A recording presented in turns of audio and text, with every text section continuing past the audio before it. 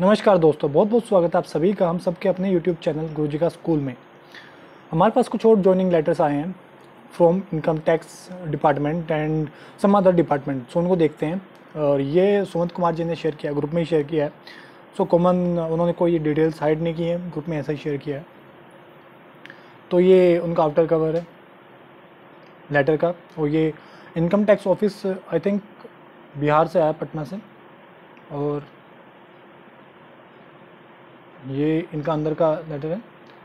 Principal chief commissioner of income tax Bihar and Jharkhand ठीक है? And Patna office है इनका। बाकी वही डिटेल्स है जो एज यूजल सभी में होती हैं और इनको क्या क्या लेके जाना क्या क्या प्रोड्यूस करना है, वो सभी डिटेल्स हैं। I am directed to request you to the following submit the following documents in original to this office for further action at this end इनका रैंक वैंक लिखा हुआ कि क्या इनका रैंक था और बाकी अदर कंडीशन जो भी हैं, इनको जो भी डिपार्टमेंट मिला है और जो इनके डिपार्टमेंट से आया है, इनका सभी बातें लिखी हुई हैं इसमें। और हम इस वीडियो में देखेंगे कि जो आपका मेडिकल सर्टिफिकेट होता है, वो कैसे बनता है और क्या उसका फॉर्मेट होता है, वो भी देखते हैं। ये अटेस्टेशन फॉर्म आए मैंने एक्सप्लेन कर रखा है ऑलरेडी एक वीडियो में कि कैसे आपको अटेस्टेशन फॉर्म भरने हैं, कैसे कंप्लीट करने हैं और कहाँ पे आपको क्या क्या भरना है वो कंप्लीट वीडियो है चैनल पे, काफ़ी फिर भी पूछते हैं कि बता दो सर प्रोसेस कैसे भरना है। तो आपकी हेल्प के लिए एक ऑलरेडी वीडियो बनाई है कंप्लीट वो लगभग पंद्रह सोलह मिनट की होगी या मे भी मोर उसमें एक एक चीज़ बताएगी आपको कि कहाँ से क्या भरना है और वो आपको करेक्ट ही भरनी है, कोई भी चीज़ आपको फॉल्स नहीं भरनी है। तो ये उसका बस छोटा सा नमूना है अटेस्टेशन फॉर्म का।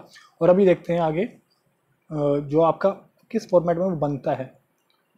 तो किसी कैंडिडेट ने ये आपका मेडिकल सर्टिफिकेट है, वो बनवा लिया है। इन्होंने पर्सनल डिटेल्स अपनी हाइड की हैं और ये आरा से हैं, ठीक है? एंड ऑब्वियसली इनका इनकम टैक्स बिहार में हुआ है और ये इनकम टैक्स के लिए ही इन्होंने अपना मेडिकल सर्टिफिकेट बनवाया है। तो सिंपल कैसे बनता है? आपका नाम वगैरह होते हैं, आपका एड्रेस होता है, ठीक है? I do where why confirm that I have examine ये डॉक्टर की तरफ़ से है। एंड उनका selection candidate for employment in the this this this office ठीक है? और इनकी कोई भी ऐसा डिज़ीज़ नहीं पाया गया एक्सेप्ट नील ठीक है? Consider do not consider that this disqualification for employment in the office of C R building Virchand Patel Marg Patna twenty five इनकी ईयर है एज है और एज बाई अपीरेंस है कि देखने में कितने लगते हैं और एक्चुअल एज कितनी है ठीक है? और प्लेस कहाँ का है? और डेट uh, ये सब उन्होंने मेडिकल ऑफिसर से टेस्ट करवाया, फिल करवाया और यहाँ पे कैंडिडेट का डिक्लेरेशन है, ठीक है? और सिग्नेचर ऑफ़ कैंडिडेट है। सिंपल ऐसे होता है। सिंपल सा होता है, वो आपके बॉडी चेकअप करते हैं, नॉर्मल आपका ब्लड प्रेशर वगैरह, एंड मे भी थोड़ा चेस्ट वेस्ट का चेकअप करते हैं, नॉर्मल आइज़ वाइज का चेकअप करते हैं। ऐसा कोई डीप या पर्सनल चेकअप नहीं होता तो ठीक है, इतना सा उतना नॉर्मल आपका, ई वगैरह, ये सब हो जाते हैं। एंड नॉर्मल सा ही होता है, कुछ ऐसा नहीं है। सब क्लियर ही रहते हैं इसमें। एंड जब आपके इसमें पी डब्ल्यू डी कैटेगरीज के कैंडिडेट्स अलाउड हैं, बाकी कैटेगरीज के कैंडिडेट्स अलाउड हैं तो वो सभी अलाउड रहते हैं। इसमें आपको कोई सीरियस बीमारी नहीं होनी चाहिए लाइक लाइफ थ्रेटनिंग बीमारी नहीं होनी चाहिए इसमें। बाकी सब अलाउड है। ठीक है? और कुछ देखते हैं आपके, कुछ और ज्वाइनिंग लेटर्स आए हैं, वो भी देखते हैं। ये अटेस्टेशन फॉर्म है, और एक मिनट रुकिए। ये विशाल जी का हुआ था। ठीक है? Government of India ministry of agriculture and farmers welfare में एमटीएस में। एंड ये 16 जून ही की डेट है। और आज आई थिंक उन्नीस जून है। जल्दी आ गया। मे बी ई से आया उनको ये। अटेस्टेशन फॉर्म दिया हुआ इनका साथ अटैच वो अलग होगा। वो इन्होंने भेजा नहीं है। एंड वो तीन कॉपीज़ भेजनी है इनको। और बीस दिन के अंदर अंदर भेजनी है। जब ही जैसे ही इनको ये लेटर रिसीव हुआ, उसके बीस दिन के अंदर भेजनी है, यानी कि पंद्रह, बीस दिन में भेज, काफ़ी दिन होते, इतने में तो बन जाता सब। Medical certificate candidate statement cum declaration and characters verification form in enclose format बाकी ये सभी चीज़ें और नीचे मेडिकल सर्टिफिकेट है, ठीक है? मेडिकल सर्टिफिकेट के लिए रिगार्डिंग ये आपके सीएमओ को या सिविल सर्विजन या मेडिकल सुपरिटेंडेंट को लेटर है कि आप इनका मेडिकल एग्जामिनेशन कीजिए। एसएससी के तहत इनकी नौकरी लगी है। Ministry of agriculture and farmers welfare department of agriculture corporation and farmers welfare on the basis of the result of this this exam and ये है मेडिकल फॉर्मेट ठीक है? Ministry of science and technology का ये letter ठीक है? और department of science and technology या technology Bhawan New Mehrauli Road New Delhi mainly सभी वहीं हैं आपके आसपास में। वही एज यूजल लाइन है शुरुआत में कि इनका एमटीएस के तौर पे इस डिपार्टमेंट में सिलेक्शन हुआ है। एसएससी का एग्ज़ाम है, बावन सौ से बीस हज़ार दो सौ ग्रेड पे है और ये सभी अट्ठावन सौ, अठारह सौ ग्रेड पे की जॉब है पे बैंड वन है।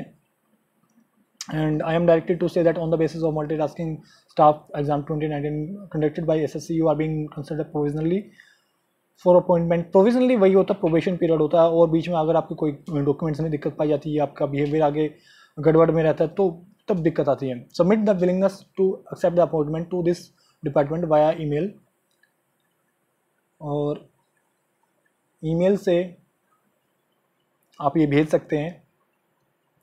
सताईस जून तक उसके बाद नहीं, उससे पहले पहले ही भेजना है। और या ईमेल या स्पीड पोस्ट आप भेज सकते हैं।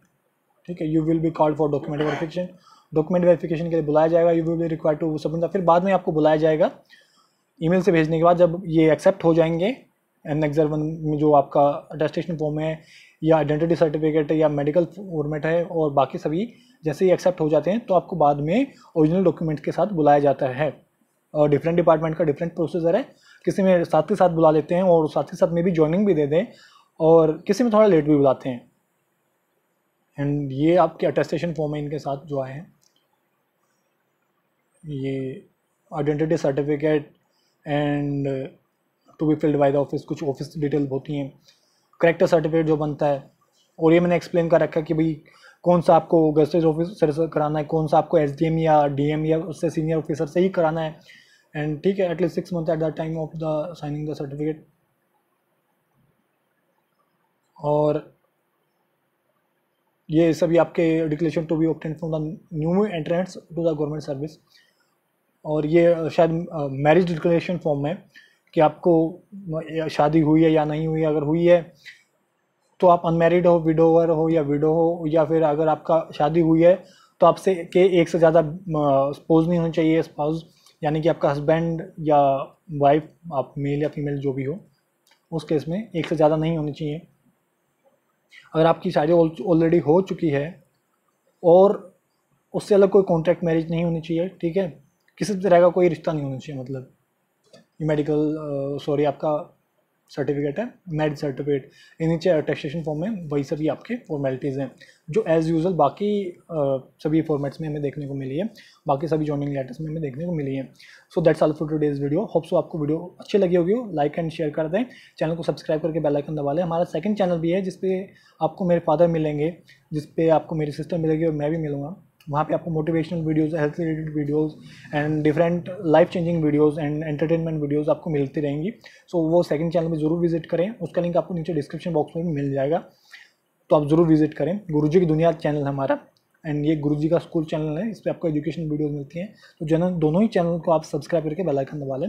मिलते हैं आपसे किसी नेक्स्ट वीडियो में या नेक्स्ट लाइव सेशन में या नेक्स्ट लाइव स्ट्रीम में।